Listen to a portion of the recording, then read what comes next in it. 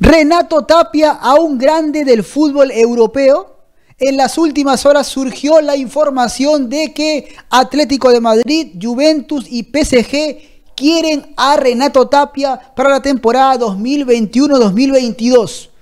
Voló la información. Fue tendencia en Twitter, posteada en Facebook, también historias de Instagram, por todos lados. Voló la información de que Tapia era requerido por uno de los grandes de Europa, por un grande de España como Atlético de Madrid, obviamente que después del Real Madrid y después del Barcelona, además también de la Juventus, el que domina, el que manda en Italia, el equipo de CR7 y además también el superpoderoso económicamente PSG. Dicen que han fijado sus ojos en Renato Tapia, pero bueno, también fue desmentida la información después de un par de horas, producto de que eh, no tenía mucha eh, verdad esta información, así que fue también desmentida por varios, pero anunciada por otros y donde fue tendencia en todos lados. Pero Renato Tapia, actual jugador del Celta de Vigo de la selección peruana de fútbol, tiene nivel ya para jugar la próxima temporada en un equipo grande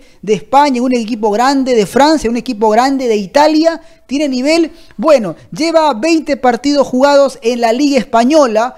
Eh, en el equipo del Celta de Vigo, ha jugado también ahí con Oscar Molina, el técnico que lo recibió, que lo tuvo primero en el Celta, se fue Oscar Molina, llegó el entrenador Eduardo Coudet y siguió jugando. Uno decía, de repente le puede costar la diferencia de nivel de Holanda, donde jugó de back central, jugó de volante central, de repente le puede costar, pero se adaptó rápidamente y con el primer técnico jugó, se fue el entrenador, llegó otro, el argentino Coudet, y también siguió jugando. 20 partidos de Liga Española, 2 de Copa del Rey y el jugador es titular indiscutible, pero ya tiene el nivel para jugar en un grande de Europa. Me parece que todavía no. Yo soy de los que espera que siga en el Celta de Vigo al menos una temporada más, que termine jugando, que se consolide y que arriesgue una temporada más en el Celta de Vigo, sí, no es fácil decirle que no a un grande de Europa si es que llega la oferta, porque algunos dicen que ha sido puro humo. Si es que llega la oferta de un grande de Europa, es complicado decirle que no por más que veas la posibilidad de ser suplente, porque te la juegas, porque obviamente te van a mejorar económicamente y es mucha más gloria jugar en un grande Europa, aunque comiences como suplente. Yo prefiero que continúe la temporada 2021-2022 en el Celta de Vigo y en esa temporada se vea algo distinto de Tapia, algo que busca, creo yo, un equipo grande de Europa. No solamente busca un volante de marca, que juegue al lado de los centrales, mucho más en el partido, que al lado de los volantes, al lado de los delanteros. Y es que, ¿por qué digo eso? Porque los volantes de marca en Europa no solamente se dedican a marcar, sino también a jugar, a generar juego, hasta por ahí convertir goles en pelota parada o llegar al área desprendiendo para una asistencia o también para un remate al arco. Se ve ya cada vez más, y es notorio, eh, que el jugador es polifuncional. Ya hay pocos centrales que solamente revientan la pelota, eh, que no hacen goles, o se ve también poco volante central que pisa el área, o poco delantero que solamente es de área y no sabe jugar fuera del área. Se ve poco eso, cada vez se ve más jugadores polifuncionales en los equipos grandes de Europa. Sí, en las grandes ligas también hay equipos pequeños, o sea, son, son equipos pequeños en una liga de elite, pero para ser jugador de un equipo de elite en una liga de elite tiene que tener más cosas. Y Tapia lo que se ha visto es cierto en el análisis de las mediciones, de las estadísticas, los duelos ganados, los balones recuperados también, los pases acertados, habría que ver ¿no? cuánto pase eh, para adelante, ¿no? no solamente el pase al lateral o el pase al compañero al costado. Repito, es un jugador que de arranque se adaptó y muy bien y nos alegra bastante que esté en una liga de elite y el tipo juegue con el primer entrenador y con el segundo entrenador. Y nos alegramos que rápidamente se ganó un puesto y de verdad se mantuvo también en el puesto. Es meritorio, es tremendo, aplaudimos, pero por lo visto,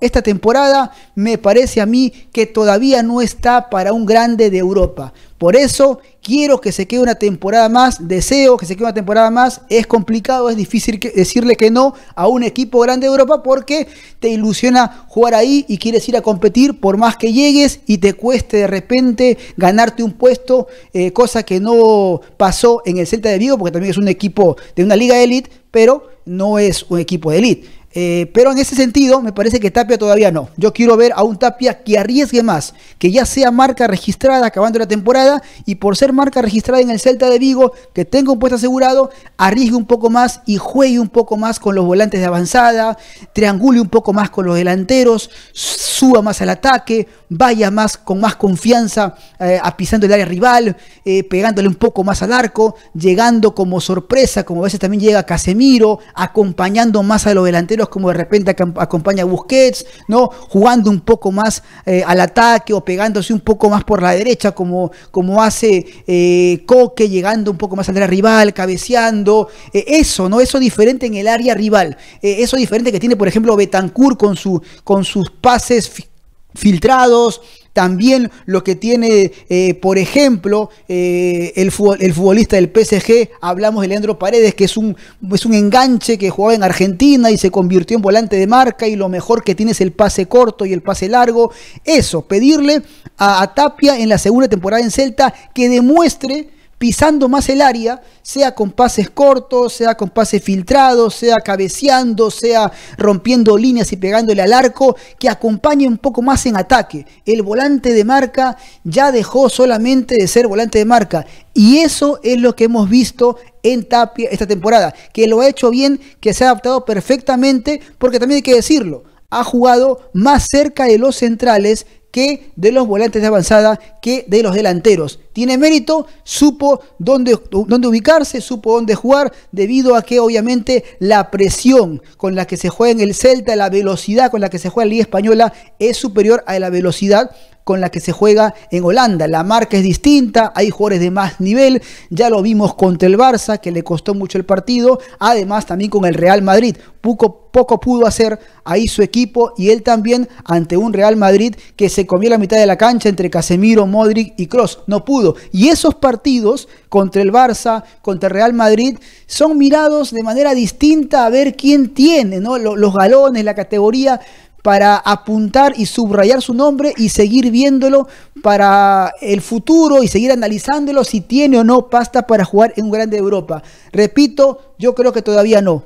Si de repente llega la oferta, eh, me parecería a mí que es complicado decirle que no, pero debería decirle que no y consolidarse en el Celta. Y la segunda temporada, 2021-2022, en Celta, ver a un Tapia que ya cumpla con las funciones que los grandes de Europa quieren en su equipo. Uno ve, los grandes de Europa tienen a Winaldon, tienen a Henderson eh, jugando y, defendiendo y convirtiendo goles, tienen a Goretzka, eh, tienen también ahí, también tenía el Bayern y ahora tiene, lo tiene el Liverpool, a Thiago Alcántara que juega y marca, más juega que marca, a Goretzka que es el que un poquito más marca, pero que juega en el Bayern. O sea, todos los volantes de marca de la elite marcan y juegan. Por ahí hay una excepción a la regla, por eso confirma la regla. Así que yo creo que Tapia debe ser un jugador que la segunda temporada en Celta de Vigo pueda demostrar que está para un equipo de elite. Solamente marcando creo que no alcanza para jugar en un grande de Europa. Hay que jugar y también generar juego y también meter goles el fútbol cambió, desapareció el enganche, desapareció el nueve tanque que no sabe jugar fuera del área, desapareció el, el, zaguero central que solamente sabe pegar y que no mete goles y que no lanza un pase filtrado, un pase largo. Van desapareciendo los jugadores que solamente hacen una cosa. Cada vez se exige más en el fútbol. Tapia puede dar más de lo que ha dado en el Celta en la segunda temporada. Claro que sí, porque si algo tiene Tapia y lo ha demostrado en la selección peruana, cuando se le pide, cuando lo dejan, y cuando tiene confianza eh, es un volante que también va al ataque. No olvidemos eh, que cuando empezó con Gareca eh, era un jugador que pisaba mucho el área rival. ¿no? E, e, esa jugada para el gol de, Farfán ante Paraguay en Lima, cuando le ganamos 1-0, eliminatoria para Rusia, 2018, y además también el gol que, ¿no? que ahí remata, que se desvía en la defensa de Brasil y vence a Weberton de Brasil ahora en, en, el último partido contra Brasil de eliminatoria. O sea, es un jugador que se atreve mucho, se atreve un poco menos en Celta, de repente por pedido del técnico o para hacerla justa y asegurar su puesto, defiende más de lo que ataca y es por eso que se ha acomodado. Pero queremos ver un poco más al Tapia que va al ataque un poco más, que rompe líneas un poco más, que juega un poco más cerca a, los delanteros, que puede tener gol también. Yo creo que esa clase de jugador es para un equipo grande de Europa. No te fichan solamente por recuperar balones, ganar eh, duelos eh, también eh, y tocarla al costado. Tapia tiene para jugar más adelante, tiene para pisar más el área, tiene condiciones para mostrar un poco más de fútbol en ataque. Si Tapia comienza a mostrar un poco más de fútbol en ataque y sigue defendiendo como lo está haciendo, ahí sí creo que está listo y preparado para un grande de Europa. Creo que debe seguir creciendo. Hay jugadores que explotan temprano, hay jugadores que explotan tarde y creo que Tapia está en camino a seguir mejorando y mostrar cosas que realmente seduzcan, ahora sí, sin humo, sin nada, a un equipo grande de Europa. Bueno, si te gustó el video, dale like, suscríbete, activa la campanita y bueno, nos encontramos en otra oportunidad. Deja tu comentario que te leeré y te responderé.